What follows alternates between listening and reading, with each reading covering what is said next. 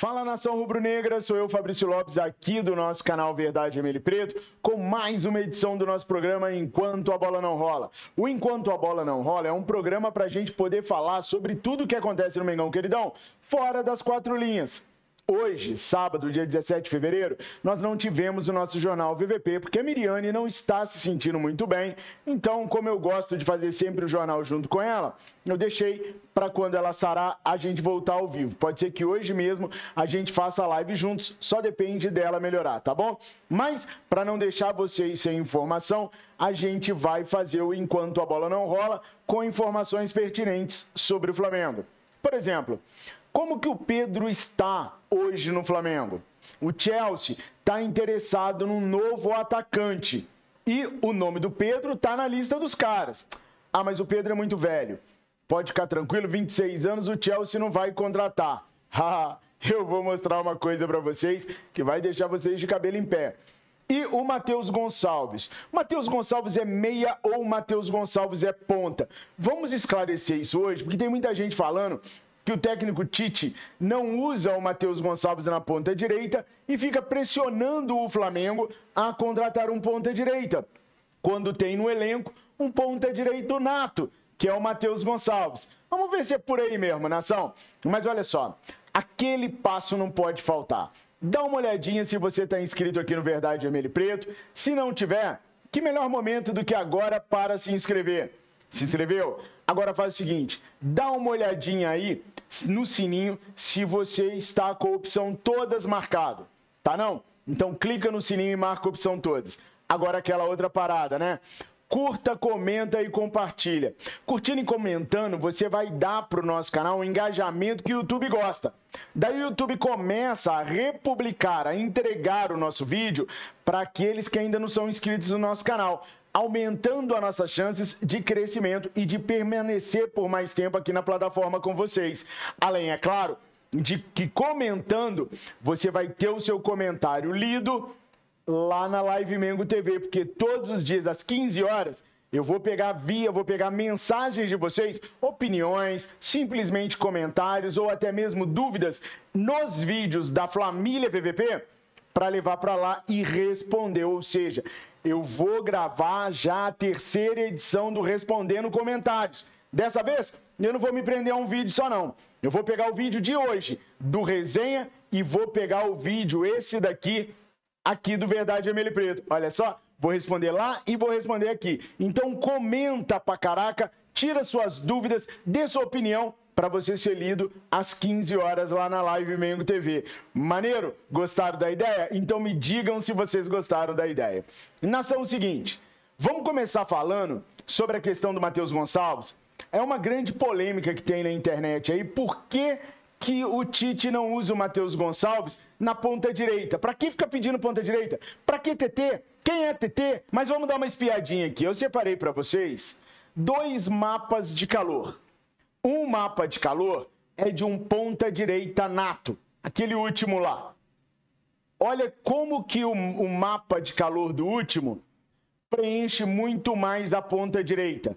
Chega a ficar vermelho de tanta operação que o Cabuquim faz ali pelo lado direito. Esse é um ponta direito nato. O outro é de um meia direita. Olha como é que o meia direita trabalha. Quase nunca ele vai à linha de fundo. Geralmente, a parte mais sensível, a parte mais escura, está no meio. Percebam ali que lá no meio a gente tem uma parte mais alaranjada. E o, o, o, jogador que tem esse mapa de calor aqui quase nunca vai linha de fundo. Sabe por quê? Porque ele não é ponta. Então vamos dar uma olhadinha aqui. O jogador aqui da beirada, o primeiro, é o Matheus Gonçalves. Ele não é, nem nunca foi ponta direita. Ele é um meia direita. Ele vai começar as jogadas do lado direito, mas vai encerrá-las sempre no meio de campo, como vocês podem ver aí no mapa de calor dele. E o outro lá? Aquilo é um mapa de calor de um ponta direita. Quem é? Ele aí, ó. Michael. O Michael é um ponta direita nato, trabalha o tempo todo na beirada do campo, inclusive indo à linha de fundo, como vocês podem perceber no mapa de calor. O Tite leu o futebol do Matheus Gonçalves, assim como eu leio também.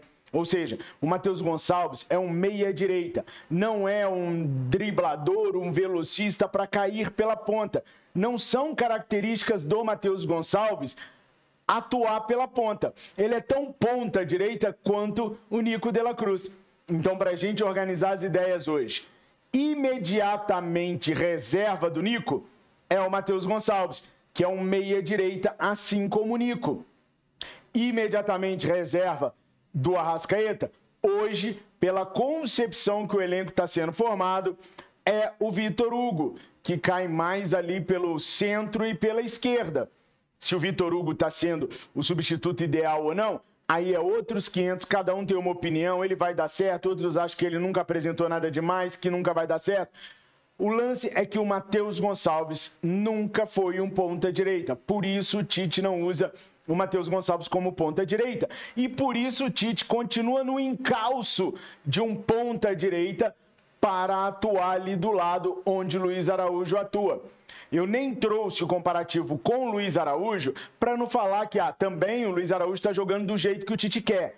Eu quis trazer o Michael porque o Michael não está jogando com o Tite, ele está jogando com o Jorge Jesus. E o Jorge Jesus coloca ele para trabalhar como um verdadeiro ponta. Agora que eu mostrei o mapa de calor para vocês, mostrei a forma que cada jogador trabalha. Vocês acham que o Tite ainda deveria utilizar o Matheus Gonçalves como ponta direita? Você que achava que o Matheus Gonçalves era um ponta direita nato, ainda tem essa perspectiva? Comenta, porque o seu comentário pode sair às 15 horas lá na Live Mengo TV, comigo lendo e respondendo. Bom, pessoal, e agora eu quero entrar em mais um vespeiro. Vocês sabem que eu não corro de divididas, que eu não tenho medo de assuntos polêmicos, que é quando dá polêmica que eu venho para trazer para vocês números e informações. Bom, hoje na internet, principalmente se falando de Flamengo, a coisa tá meio dividida. Aliás, o nosso Brasilzão tá acostumando a se dividir com vários assuntos, né? Agora a nação rubro-negra tá dividida. Pedro ou Gabriel? Quem deveria ser o atacante titular da equipe rubro-negra? Bom, se nós formos olhar números de 2024, número do momento, o Pedro é indiscutível o dono da camisa 9, o dono da posição de atacante. Com sete gols em sete jogos, não tem o que se discutir. O Pedro é o atacante que merece a titularidade do Flamengo hoje. Mas há aqueles que preferem o Gabriel pelo histórico, pelo poder que o nome dele traz para dentro de campo, pela mobilidade que ele tem, que ainda sendo muito maior que a do Pedro, enfim, pelo carinho que ele tem, são várias e várias e várias satisfações que os apoiadores do Gabriel têm. Eu vi nas redes sociais, inclusive, uma discussão de que o Pedro é culpado por não ser carismático igual o Gabriel. Que o Pedro deveria melhorar o seu carisma para poder chegar no patamar do Gabriel. É claro que no mundo voltado para o marketing hoje, que no mundo voltado para as redes sociais, quanto mais descolado você for, melhor para você. Quanto mais você trabalhar a sua imagem nas redes sociais, melhor para vocês. Mas eu entendo bem o caso do Pedro, porque eu sou um cara mesmo que não sou muito carismático nas redes sociais. Meus números, é, enquanto seguidores no Twitter, por exemplo, são bem baixos, bem pequenos. Aqui mesmo, eu não faço muita força para agradar ninguém. Eu venho, faço o meu, trago a verdade que eu descubro, sem enrolação, sem ficar de TTTTT. E isso me, não me faz um cara muito carismático, não me faz um cara muito querido. Eu não entro em vibes que eu sei que estão erradas. Vocês nunca me viram entrar em vibe de Neymar a um passo do Flamengo? Ou de Flamengo sondou Cristiano Ronaldo? O próprio Rodolfo Landim disse que durante a gestão dele jamais se cogitou o Neymar na equipe rubro-negra. Também não venho aqui falar que o Dybala vai ficar livre e que o Flamengo poderia ir lá fazer uma proposta, porque eu sei que não é só o caso do cara ficar livre. Tem salário, tem a competição com outros clubes europeus. Então eu vou vir aqui encher linguiça com isso para quê? Então eu entendo bem o lado do Pedro. O Pedro vai, entra em campo, faz o dele, no máximo posta uma fotinha ou outra ali no Twitter, nas redes sociais e Zé Fini. Exatamente como eu lido também. Mas o Gabriel tá certo. O Gabriel entra em campo, faz o dele Ultimamente não tem feito muito, mas eu acredito que ele vai voltar a fazer. Faz o dele e ainda tem uma equipe maravilhosa que cuida das redes sociais dele, que se importa com a imagem que está sendo passada nas redes sociais. Isso faz com que o torcedor ali em campo, a proximidade com seu ídolo nas redes sociais e tenha coro, voz ativa favorável a ele.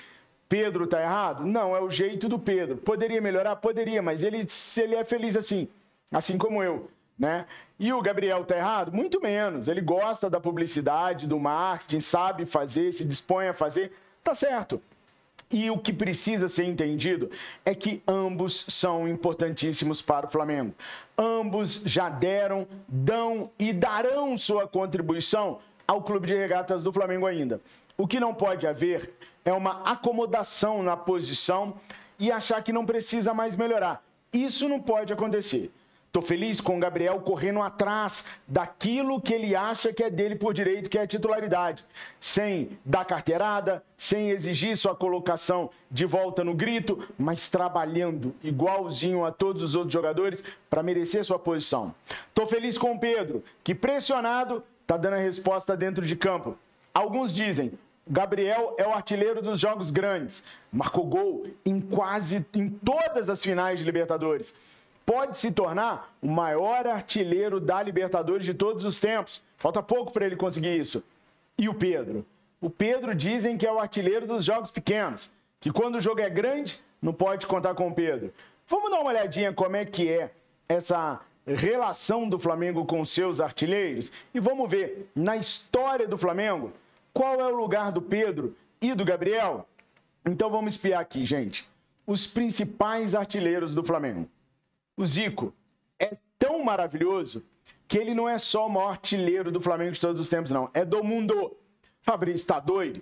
Pelé tem mais de mil gols. Romário tem mais de mil gols. Eles eram centroavantes. O Zico era um meia, era meio-campista. Nenhum outro meio de campo no mundo fez mais gols do que o Zico. E os números estão aqui? São só os números de gols pelo Mengão. 509 gols pelo Flamengo em 732 jogos, o que dá uma média de 0,69 gols por jogo. O Dida, 264 gols em 350 jogos, média espetacular de 0,75 gol por jogo. O Henrique, artilheiro, ídolo da década de 50 do Flamengo, 216 gols em 402 jogos, dá uma média de 0,53 gols por jogo. O baixinho, Romário, 204 gols em 280 jogos, uma média de 0,85. O maior artilheiro de todos os tempos do Flamengo em média de gols por jogo chama-se Romário. Ninguém tem uma média maior do que o Romário. É uma média impressionante, é quase um gol por jogo durante toda a sua passagem pelo Flamengo. Baixinho era monstro, era genial, era craque na concepção da palavra. Gabriel Barbosa, o Gabigol, na quinta colocação, com 155 gols em 259 jogos, uma média de 0,59 gols por jogo. O Pedro vem na 17ª colocação, com 112 gols em 221 jogos, o que dá uma média de 0,50 gols por jogo. Ou seja, mesmo Pedro vivendo uma fase maravilhosa, mesmo Pedro podendo entrar no top 10 dos artilheiros do Flamengo esse ano, ele ainda tem uma média de gols inferior à média do Gabriel. A torcida do Pedro vai dizer o seguinte: ah, mas ele foi muito menos titular do que o Gabriel. Fato. A minutagem do Pedro é bem menor. Mas aí, os apaixonados fãs do Gabriel vai dizer: é, mas em compensação, o Gabriel meteu dois gols em final de Libertadores, naquela tensão contra o River Plate, meteu mais um no jogo contra o Palmeiras, depois fez gol contra o Atlético do Paraná. Ele é o artilheiro das grandes decisões. Também não há dúvida. A conclusão, meus amigos, é que os dois são fenomenais. Temos que torcer pela recuperação do Gabriel. Ele é jogador do Flamengo. Não precisa ser um contra o outro. Pode ser um favorável ao outro. Mesmo que o Tite pense em utilizá-los, um ou outro, ainda assim eles são úteis para o Flamengo. Para dar pressão no cara que está lá. Se o 9 é o titular, o 10 tem que entrar muito bem para pressionar o 9. Se o 10 é o titular, o 9 tem que entrar muito bem para pressionar o 10. Quem ganha com isso é o Flamengo. Portanto, a minha mensagem é essa: nós não precisamos torcer a favor do Gabriel e contra o Pedro. Tinha gente no Twitter triste porque o Flamengo ganhou com três gols do Pedro. Nós não precisamos torcer a favor do Pedro contra o Gabriel. Nós precisamos torcer mais para o Clube de Regatas do Flamengo. E é ótimo a gente ter dois monstros competindo pela mesma posição. Isso dá mobilidade a eles e não os deixam acomodar. É sensacional ter dois caras como esse no nosso elenco. Todos os clubes do mundo queriam ter esses dois jogadores. E aí eu vou falar para vocês a questão do Flamengo poder perder o Pedro no meio do ano. Gente, o negócio é o seguinte: o Chelsea está procurando um atacante e no meio do ano os caras vão ser mais agressivos na janela de transferências.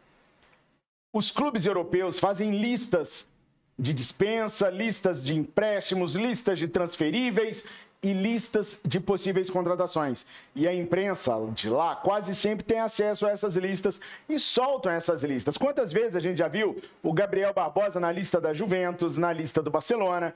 É uma lista. Ela existe, ela é um fato, mas é uma lista. E com muitos nomes, senão não seria lista. E qualquer um desses nomes podem ser procurados. A justificativa de muitos para que Pedro não saia do Flamengo é a idade dele. Aos 26 anos, muitos dizem que dificilmente a Europa vai contratar um jogador. Só que na lista do Chelsea estão nomes como Roberto Firmino, de 32 anos, e de Karim Benzema, de 36 anos. Nesse patamar, o Pedro ainda é juvenil, com 26 anos. E o Chelsea já andou sondando o staff do Pedro para saber o que o Pedro pretende a partir do meio do ano. Bom, o Chelsea ainda não fez proposta, nem entrou em contato com o Flamengo. A multa do Pedro é de 60 milhões de euros para clubes do exterior, 100 milhões de euros para clubes aqui do Brasil. O Flamengo recusou proposta de 18 milhões do Benfica em agosto do ano passado. Mas, internamente, se diz que o Flamengo sentaria para conversar por valores a partir de 25 milhões de euros. O risco existe. Se o Chelsea vier, pode ser que o Flamengo negocie o Pedro desde que o Chelsea esteja disposto a oferecer algo em torno de 25 milhões de euros para cima. Diante dessa informação, o que você faria se fosse um dos dirigentes rubro-negros? Coloquem aqui nos comentários que eu quero muito saber a opinião de vocês. E 15 horas tem vídeo lá no Live Mengo TV comigo respondendo a alguns comentários desse vídeo aqui e também do primeiro vídeo do dia que foi o do Resenha Rubro Negra. Corre para comentar para a gente poder interagir cada dia mais. Não esquece de curtir, comentar, inscrever e compartilhar. Tenham todos um excelente sábado. Fiquem com Deus. Eu amo vocês. Saudações rubro-negras.